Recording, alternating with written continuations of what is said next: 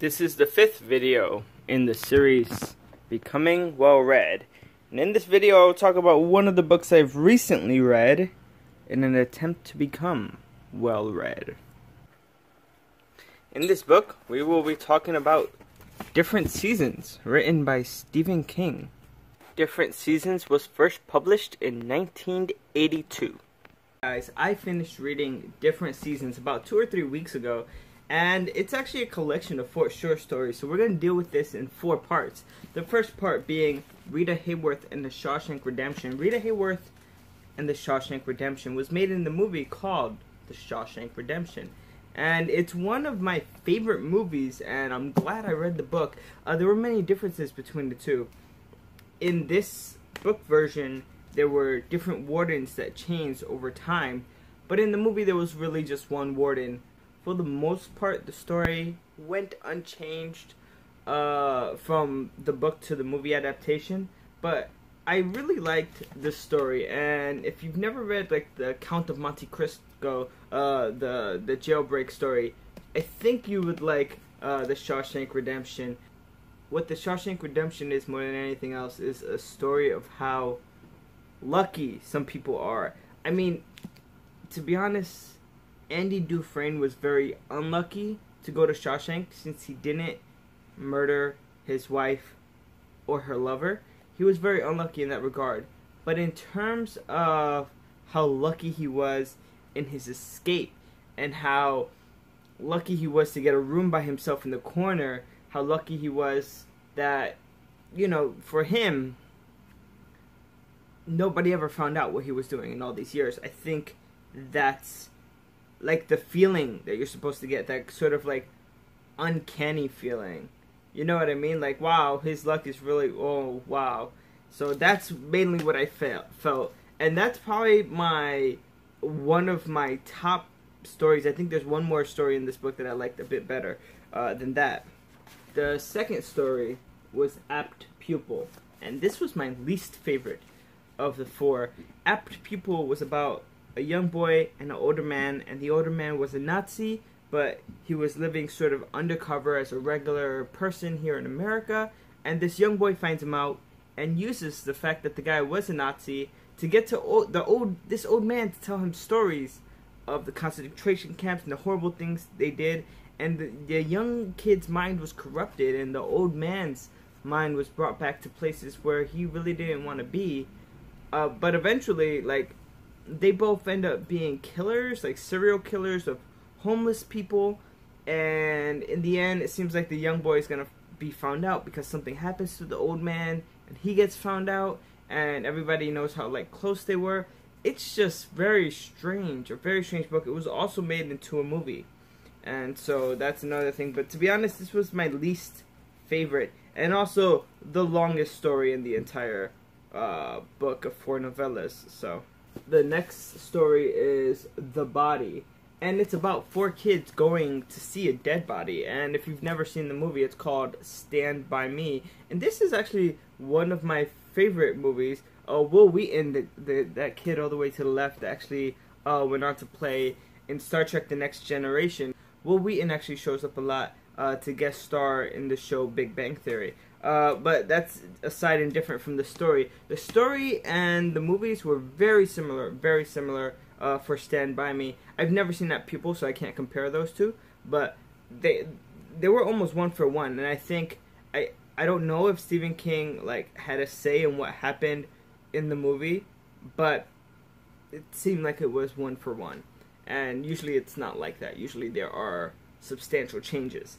Uh, but this is sort of like a coming of age story uh, where the four kids are going on an adventure by themselves in the woods to see a dead body that they had heard about on the radio because the radio was talking about this young guy, this young boy who had died, and they were looking for him. And one of the kids' older brother, this kid right here, Vern, actually he overheard him talking that the older brother had found the body, and that's where they're going. And different things happen to them on their journey. Uh, there's the leeches. There's the fact that they didn't bring food, so they have to like send someone out to get food, and they take a stop at the town dump. And the dog, which was like a legend, comes chasing after one of them. It's a very interesting story because you also get to see like the difficulties of childhood and uh, the way they interact with each other. Never had such a tight knit group as they did um, in the story.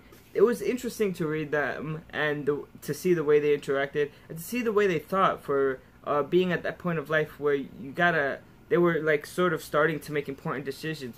Do I take uh, the regular curriculum in school, or do I take like the curriculum for people who want to go to college? Things like that. It was uh, interesting. My favorite story in this collection of novellas is the breathing method.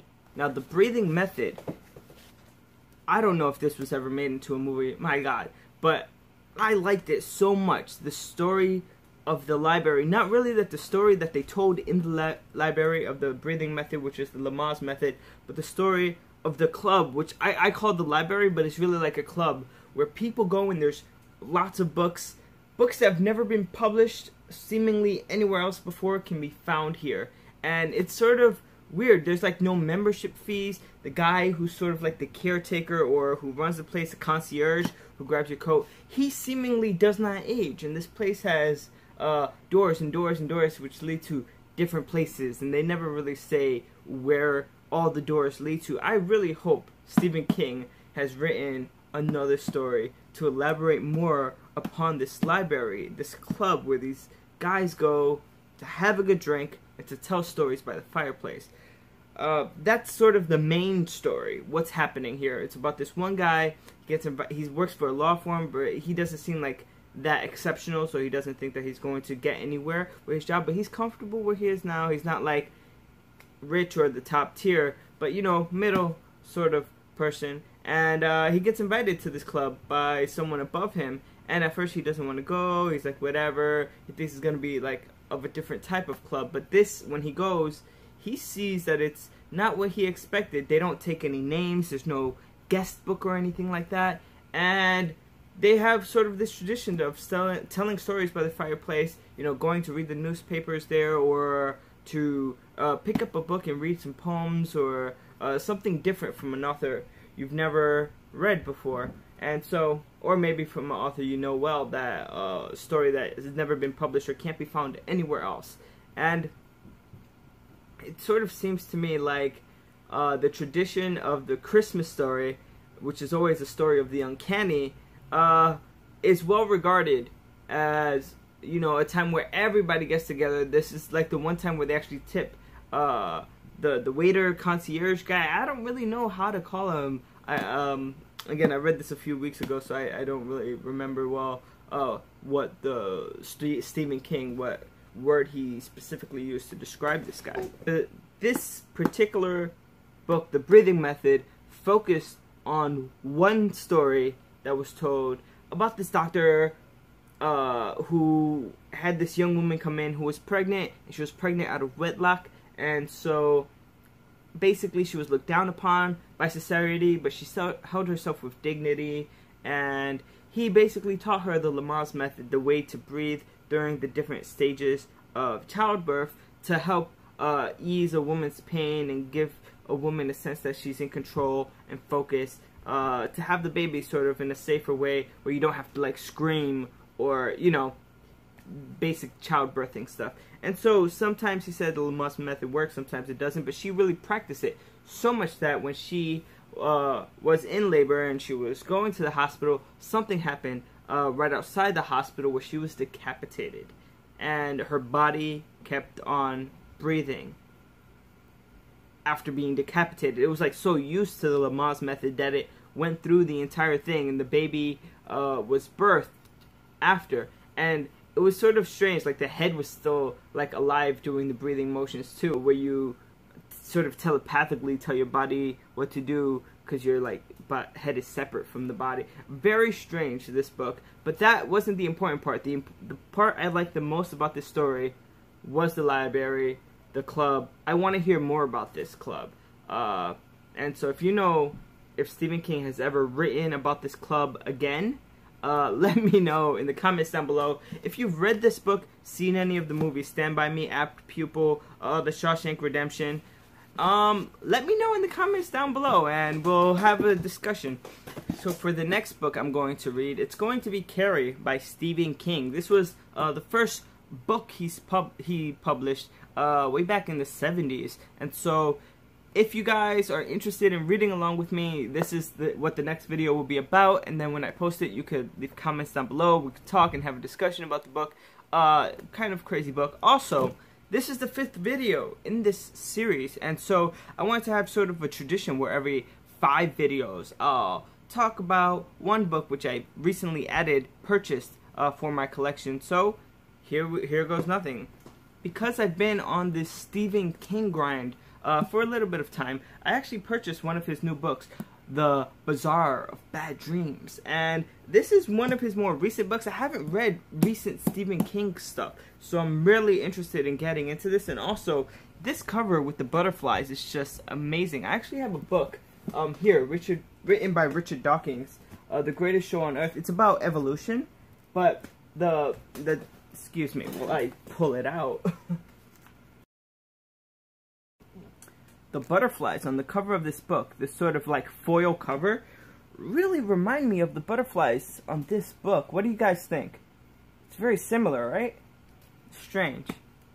Very soon I'm going to be reading this book um, as well. I also picked up another book, which I normally don't do. I don't like to pick up books faster than I could read them, and I have so many books in the backlog, I've decided that every five books I'll pick up one. But this is an exception because this is a book I used to own that I've read a long time ago that I wanted to reread. Uh, I had lent it to somebody, never got it back, so this is a repurchase of a book I used to own that I really wanted for my collection. It's also another Stephen King uh, Gerald's Game. And I used to own the hardcover. Unfortunately, the bookstore didn't have the hardcover. I had to settle for this. Again, uh, the next book I'm going to be reading uh, for just to talk about in a video is Carrie uh, by Stephen King. So if you have it, if you want to read it, read it along with me. Um, sometime probably within the next week I'll be posting that video because this book is not that long at all by any means. So thanks for watching and we'll see you next time.